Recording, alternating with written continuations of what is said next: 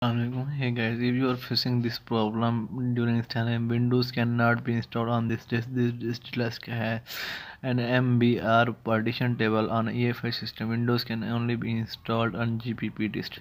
Then um, I'm having this problem Lenovo G510 laptop. So what you're going to do is cancel this. Yes, and go to and completely restore it and cancel this installation. As this pc restarts press this boot button.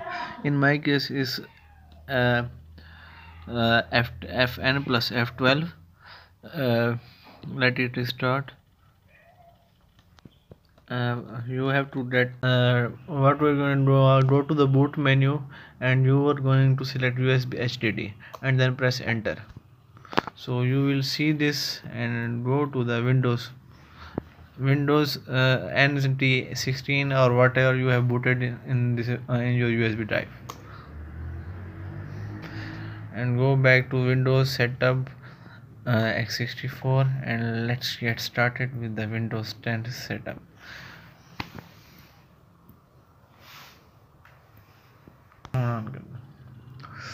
So press next install now window is starting. Uh, I accept this license and next custom. And we're going to select system reserved. system reserved. Then click our main drive.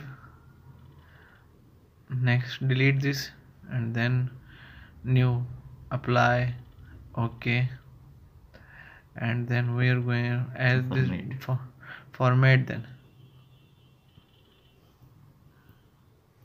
then we'll going to press and our video is started and you will complete this installation. Thank you